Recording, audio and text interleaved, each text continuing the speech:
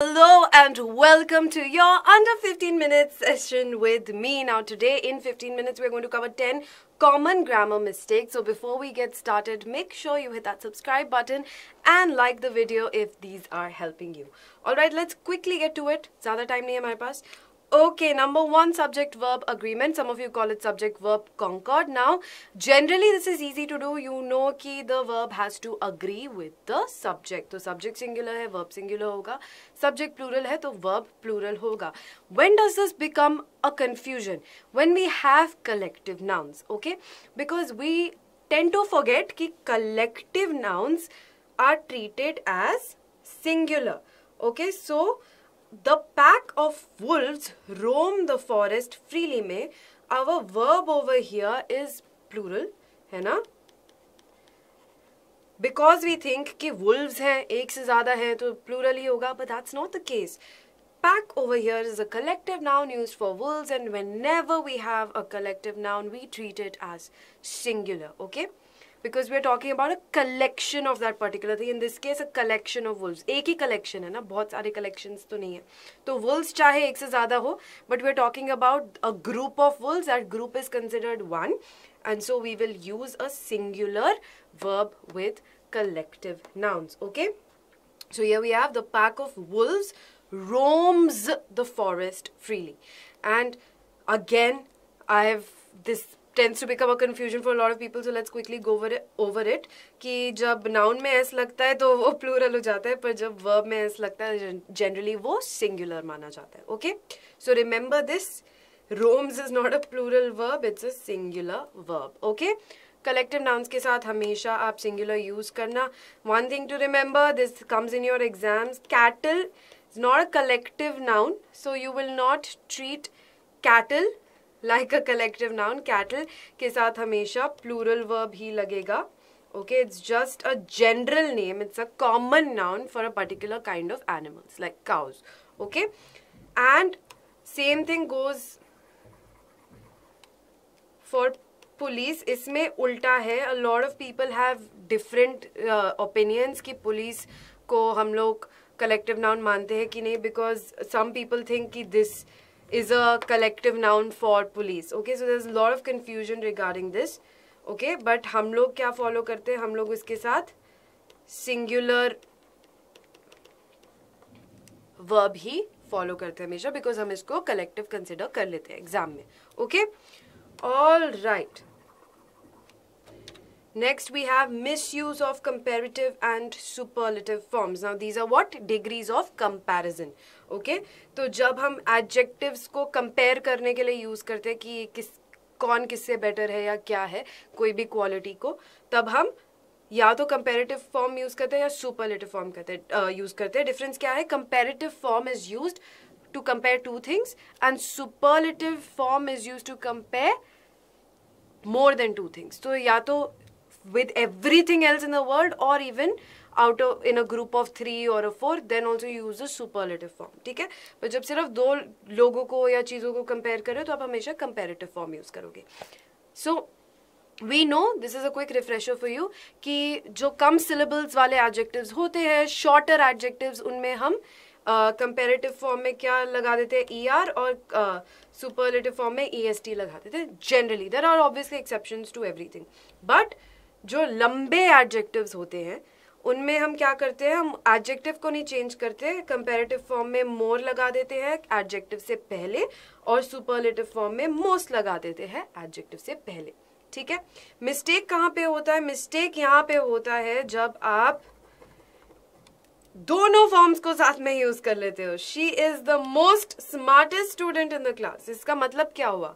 Okay you are using ये superlative and you're using ye superlative also okay doesn't make sense you will say she's the smartest student in class क्योंकि जो smart है ज़्यादा लंबा word नहीं है तो smarter या smartest होता है ठीक है if you had something like intelligent it's a longer word so she is the most intelligent student in class intelligentest student नहीं हो सकती ठीक है just remember don't use both you can use either or okay And the more you practice, you will understand which adjectives tend to use ER and EST and which use more and most.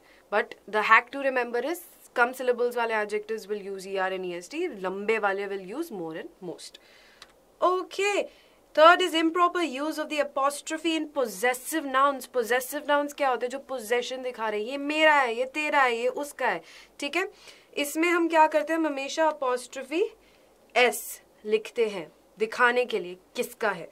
इसमें क्या है? The book's cover was torn अरे, कौन सी book का cover मतलब torn है ये? क्या प्लूरल बुक्स क्यों लिखा हुआ है? यहाँ पे समझ नहीं आ रहा ना सेंटेंस क्या बोलने की कोशिश कर रहा है? It's grammatically incorrect we are trying to say कि एक बुक है, उसका जो कवर है, वो टोन है. Okay so we need to show कि बुक का कवर टोन है. किसका कवर टोन है? बुक का कवर टोन है. So we will put apostrophe ये क्या बनाया मैंने?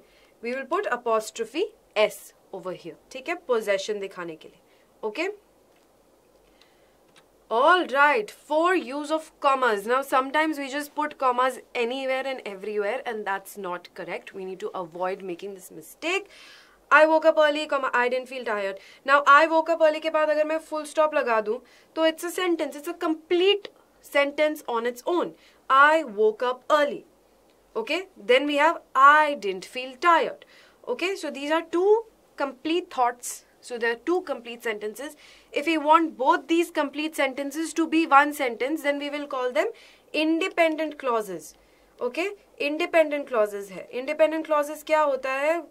सेंटेंस का वो पार्ट जो अपने आप में कंप्लीट थॉट है। मतलब आप उसको बाकी के सेंटेंस से अलग भी कर दो तो वो अपने आप में भी एक सेंटेंस है। Okay it will make sense on its own so we can not join two independent clauses with a comma no no no what will you will use a conjunction okay and will use a coordinating conjunction. So here we'll use and. And over here in this example, even if you don't put this comma, the sentence is still correct. I woke up and i didn't feel tired. Okay? Okay? अगर इसको ये करना है I woke up early and I didn't feel tired okay अब आप इस sentence को change करके यहाँ पे बट लगाना चाहते हो तो वो भी uh, कर सकते हो। I slept late but I didn't feel tired okay ये भी दोनों कंप्लीट सेंटेंसेस है on their own if you want to join them together we will use a coordinating conjunction not just a comma all right next we have verb tense yesterday i had went to the mall. इसका मतलब क्या हुआ? Okay whenever we are showing the tense of the verb we need to make sure we are clear about वो कहाँ पे fit हो रहा है पास परफेक्ट है पास परफेक्ट कंटिन्यूस है सिंपल पास्ट है फ्यूचर है, क्या है? Once we are clear about that हम लोग याद करेंगे कि उसकी कॉन्जुगेशन कैसे बनती है। इन दिस केस हैड के साथ तो हमेशा क्या लगेगा? वी थ्री फॉर्म लगेगा गॉन लगेगा। ठीक है? तो या तो ये सेंटेंस होना चाहिए yesterday I gone to the mall and so and so things happened या हम बोलेंगे yesterday I went to the mall simple past में बना देंगे, वेंट यूज़ करेंगे, ओके? हैड नहीं यूज़ करेंगे तब। So be clear about the verb form that you are using okay?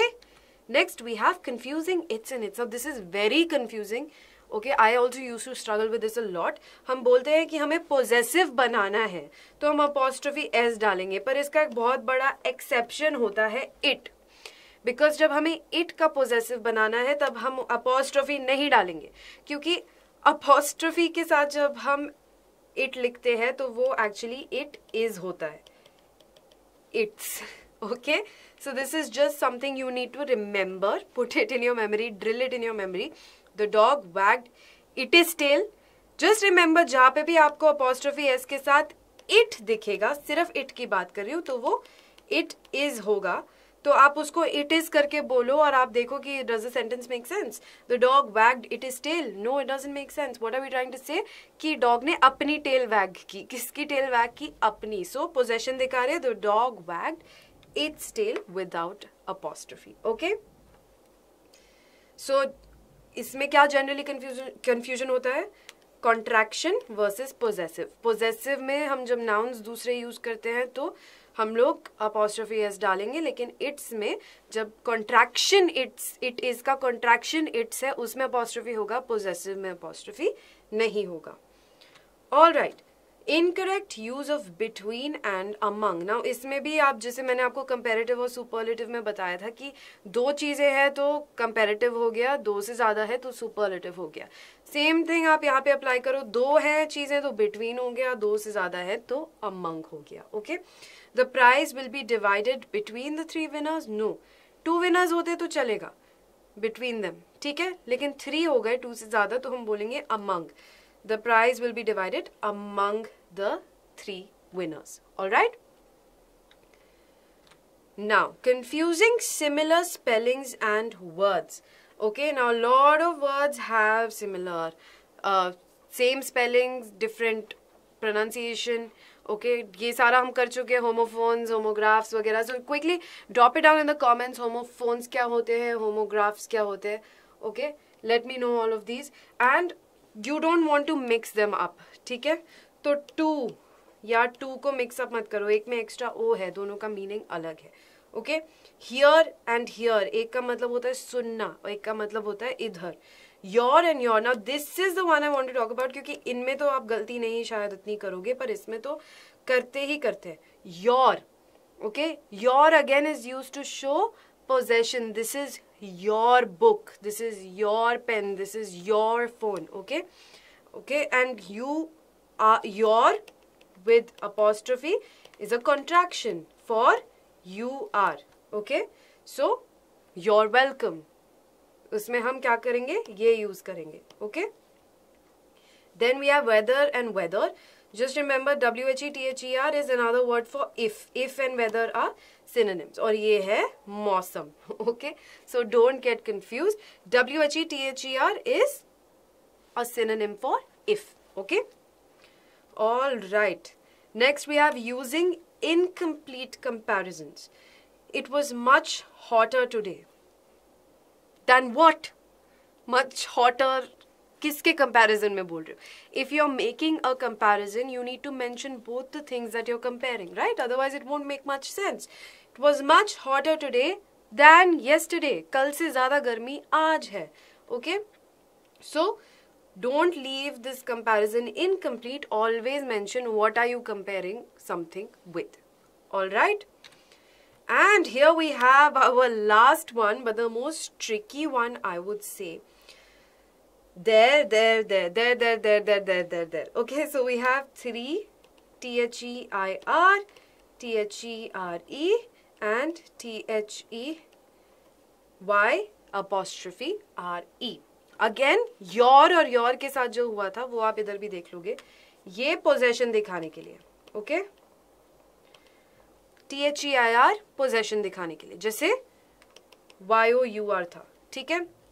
So this is their house this is their car okay T H E Y apostrophe R E is contraction of they are they are coming to the party tonight okay and T H E R E को here and there वाला याद रखना। Here की spelling भी similar है। H E R E so T H E R E here and there ये आपको बताने के लिए कि कुछ कहाँ पे पड़ा है या कहाँ पे है okay where is my glass of milk it is kept over there okay so इसमें क्या क्या इनकरेक्ट है there going to be here soon no are going to be here soon okay we should contact their agent again जब भी आपको U Y O U apostrophe आ रही T H E Y apostrophe आ रही या I T apostrophe S मिलेगा तो आप क्या बोलोगे? They are you are it is इससे आपको क्लियर हो जाएगा सेंटेंस में कि ये गलत है। We should contact they're agent no their agent उनका agent okay can we use their boat their boat no their boat and there is an argument that says नहीं, हम बोल रहे कि एक आर्ग्यूमेंट है दैट सेज तो उसमें हम टी एच ई आ रही सो ये सिर्फ़ फ़िज़िकल जगह बताने के लिए नहीं ये ये बताने के लिए भी है कि कुछ एग्जिस्ट करता है okay is I don't think there a place called क्या जगह का नाम लू? Timbuktu I don't think there is a place called Timbuktu. Then somebody will say, no, there is a place called Timbuktu. Is me? बोलोगे आप there there is a place call Timbuktu okay all right confusion clear है T H E I R possession T H E R E to show apostrophe re contraction of they are. That brings us to the end of our session. I'm sure now that none of you are going to make these common mistakes because अब आपको याद हो गया कि ये गलती अस्मिता ma'am ने बोला था कि नहीं करनी है तो अब आप नहीं करोगे। All right and remember to subscribe to the channel you have so many amazing live classes for all subjects to help you in your academic journey so make sure you stay subscribe become a part of this family and like all the videos that are helping you I will see you next time that's my time and have a great day ahead